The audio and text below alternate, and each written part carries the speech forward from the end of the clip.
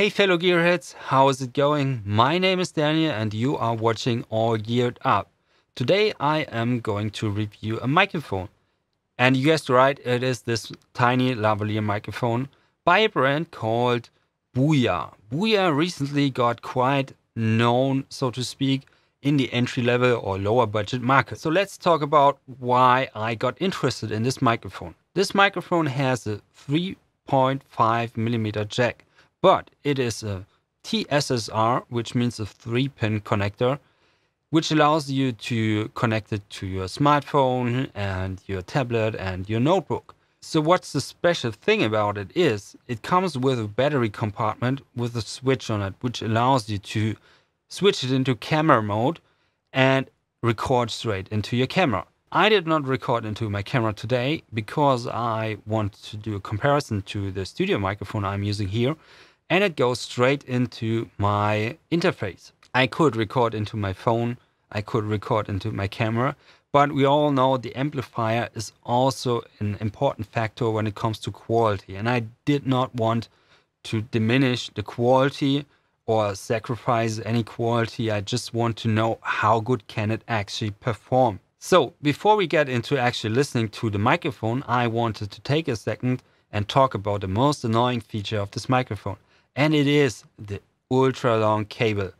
I understand it is meant to plug into your camera when the camera is far away, but when I am using this microphone, I intend to use it to record into my phone, which then will be down in my pocket, or I would be recording into a tiny pocket recorder like the Zoom H1, which then also would go into my pocket. So I really, I really, really, really wished for the company to have an option to go with shorter cable and the same features. So now let's get into actually listening to the microphone. But before we do that, let's think about what we're trying to evaluate here. When comparing microphones, uh, we have to take in account how they are built, what pickup pattern they have, and in which situations they are meant to be used in. So when we switch now to this microphone, you're definitely going to hear a difference and it is due to the quality and the pickup pattern and uh, the intended use basically. While I was recording with the studio microphone, you will hear much more clarity, um, much more precise references in the high end, better response in low end, and so on.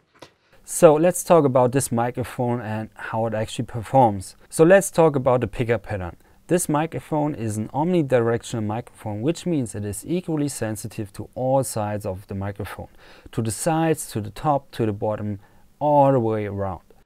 Compared to like a shotgun microphone, I can now put this microphone to my lapel and move my head around and will still pick up equally. And then let's talk about how this microphone is intended to use. It is meant to record voice and voice only or mainly voice. Um, in comparison to the other microphone I was using in this video, you will notice it has less clarity. It has less precise uh, response in the high end. It is a little bit rough in the low end, which is a good thing for voices because our voice mainly lies in the mid-range frequencies.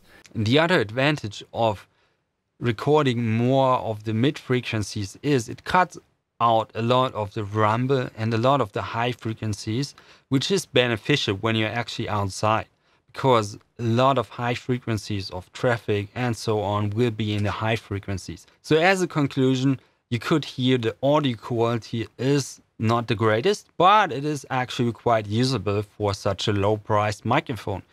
And when I'm thinking about just taking one microphone with me, chances are I'm going to be picking this microphone because of its flexibility. I can record in whatever I have with me, be it my phone, be it my laptop, be it my camera, be it an external recorder.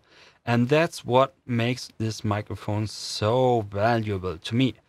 Overall, it is a decent microphone. It gets the job done. And I think it's really worth the price. I think in the future, I will compare it to another lower priced microphone and see how it performs in comparison to other budget mics. But for now, I think we could hear enough to evaluate if it's actually a good product or not.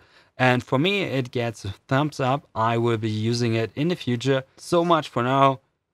Thank you for watching the video. If you have not subscribed to our channel, I really would appreciate if you do so. And you can follow up with the upcoming videos, the upcoming reviews, and whatever we will do on this channel. Until then, see you around. Bye.